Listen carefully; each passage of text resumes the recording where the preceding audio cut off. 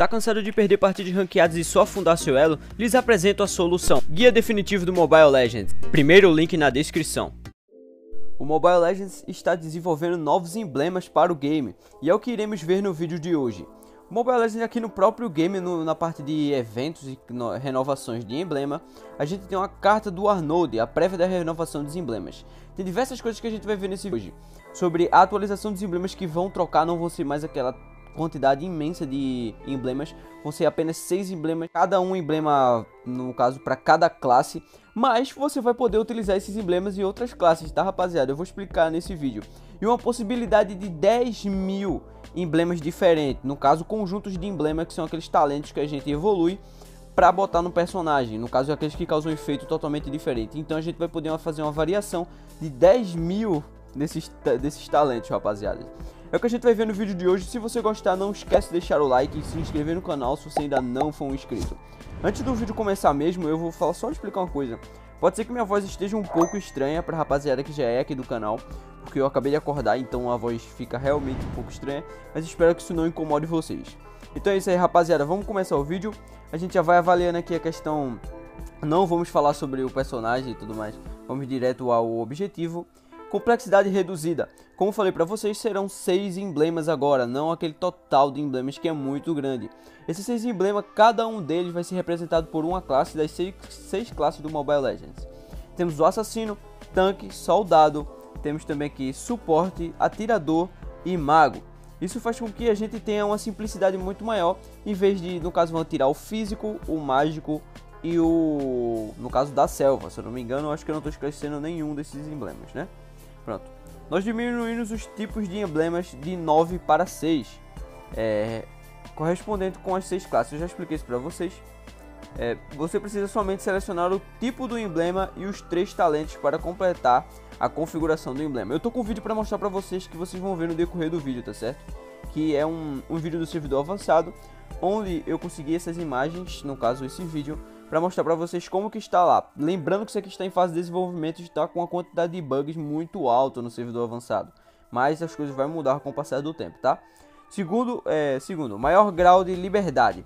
Você consegue ver que aqui à direita a gente está vendo as seleções de emblemas. No caso de talentos de emblema.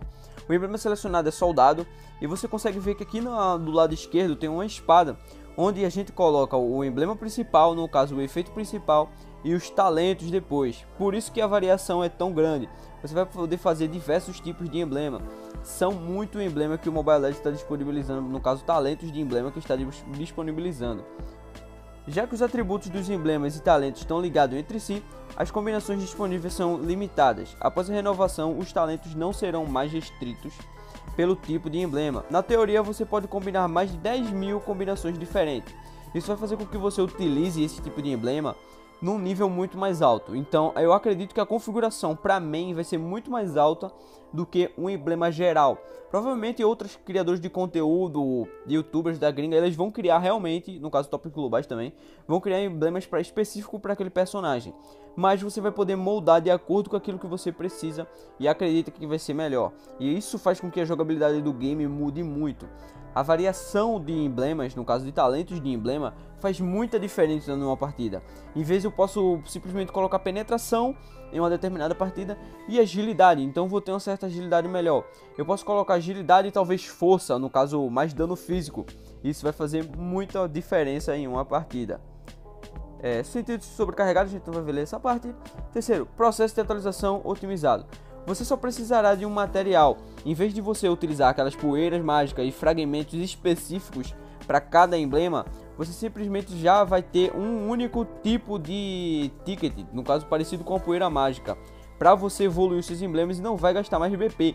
Isso é muito bom, rapaziada. Isso vai economizar muito para vocês comprar os seus personagens.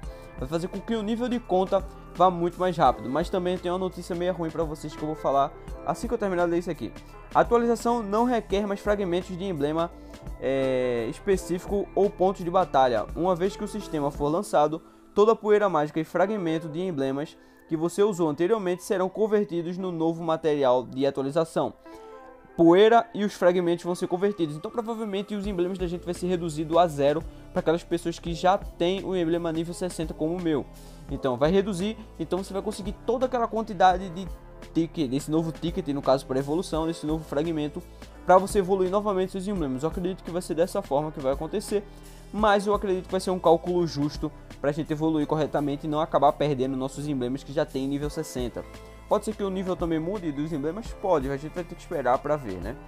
Já que o novo sistema não precisa mais de pontos de batalha, os pontos de batalha não serão devolvidos. É isso que eu tava falando, eu queria falar para vocês. Os pontos de batalha gastos não vão ser devolvidos, rapaziada. No entanto, você receberá uma borda de avatar exclusiva ou emote baseado no nível total dos seus emblemas atuais. Isso para mim não faz tanta diferença. Mas tudo bem, até aqui uma borda se for bonita já tá valendo. Atualização do visual. Esse aqui no caso selecionado é a do soldado, então vai ficar muito nessa parte de visual. Eu vou mostrar o vídeo para vocês já já, para vocês verem como é que funciona. Com o avanço da jogabilidade vem também um novo visual para os emblemas. Estamos confiantes de que eles não vão decepcionar. É, isso aqui não faz tanta diferença mais, rapaziada. Aqui é só uns agradecimentos e tudo mais. Eles falando sobre a atualização no servidor avançado. Mas resumidamente, o mais importante sem dúvidas é a variação de emblemas onde a gente vai poder criar diversas coisas para evoluir ainda mais o nosso nível numa jogabilidade.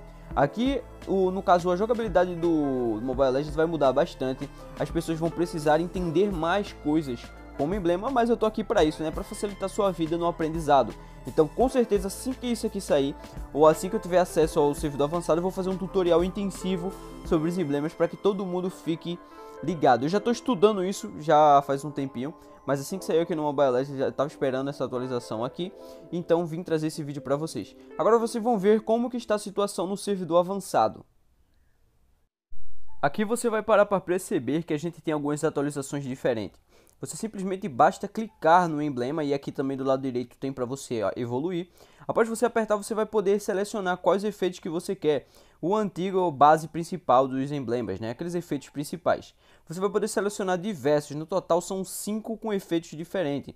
Então 5, no caso 15 diferentes para você fazer combinações. Então pode ser que se torne um monstro alguns heróis. Agora eu me pergunto, será que o nível de dano vai ser muito maior? É, rapaziada, a gente vai ter que esperar para ver. Mas muita coisa se está interessante sim. A gente consegue ver que tem vampirismo, dano mágico, tem outras coisas ali também que você vai poder selecionar. E você não desbloqueia tudo, tá? Você vai desbloquear evoluindo o nível como normal antes, tá? Mas como a gente vai converter tudo num novo fragmento, que aqui ainda está poeira mágica, mas fica tranquilo, tudo vai se resolver e a gente vai esperar as atualizações, tá certo? Então, rapaziada, esse foi o vídeo, espero que você tenha gostado. Se você gostou, não esquece de deixar o like e se inscrever no canal se você ainda não for um inscrito. Eu vou deixar um pedacinho desse vídeo para você estar tá dando aquela visualizada e entender um pouco mais como que funciona. Mas particularmente é só isso, vai trocar alguns emblemas, no caso os efeitos de emblema, talentos de emblema e os efeitos de emblema vão trocar para novos com a variação muito maior para você fazer combinações muito maior, variadas de formas incríveis para o seu personagem. Agora tudo vai depender do seu estudo, tá certo? E do meu também para trazer esse conteúdo para vocês futuramente. Eu acredito que daqui a dois meses, três meses que isso aqui vai estar sendo lançado, mas o Mobile Legends adora lançar coisa rápida, né? Então pode ser que isso apareça mais rápido. Então é isso aí, rapaziada. Eu vou ficando por aqui e até o próximo vídeo. Não esquece do like e se inscrever no canal se ainda não for um inscrito. Falou!